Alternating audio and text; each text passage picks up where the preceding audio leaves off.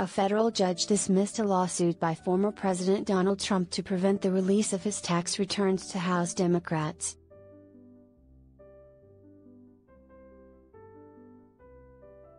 Former President Donald J. Trump sues to keep the Treasury from giving his tax returns to the House Committee on Ways and Means, which can publish them, U.S. District Judge Trevor McFadden wrote in a 45 page opinion. But even if the former president is right on the facts, he is wrong on the law. A long line of Supreme Court cases requires great deference to facially valid congressional inquiries. Even the special solicitude accorded former presidents does not alter the outcome.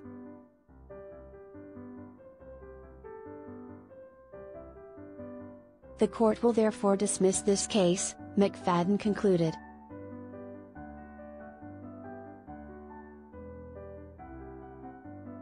The ruling includes a 14 day stay while both sides in the case discuss next steps, including giving the Trump camp time to file an appeal.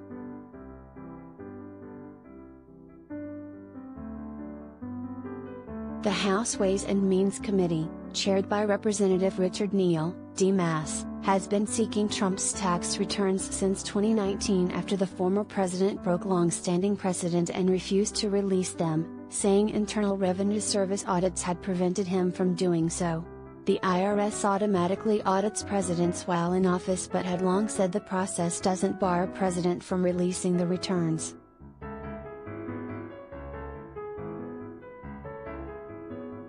but the Treasury Department under Trump refused to do so despite Neal's request, prompting years of lawsuits.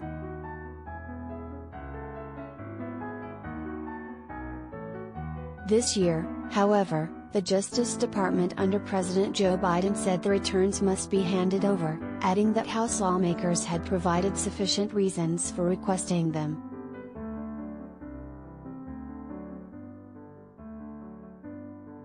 This ruling is no surprise, the law is clearly on the committee's side, Neal said in a statement after the ruling. I am pleased that we're now one step closer to being able to conduct more thorough oversight of the IRS's mandatory presidential audit program.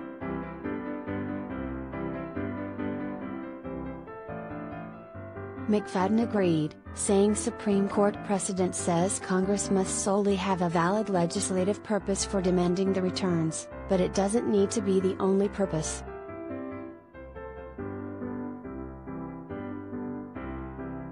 Anyone can see that publishing confidential tax information of a political rival is the type of move that will return to plague the inventor, McFadden wrote on Tuesday.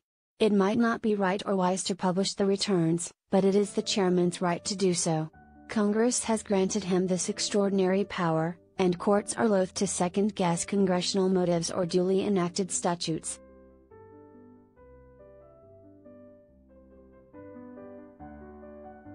Trump also sought to block the release of the returns as part of an investigation by the Manhattan District Attorney's Office. Those were turned over earlier this year, as well.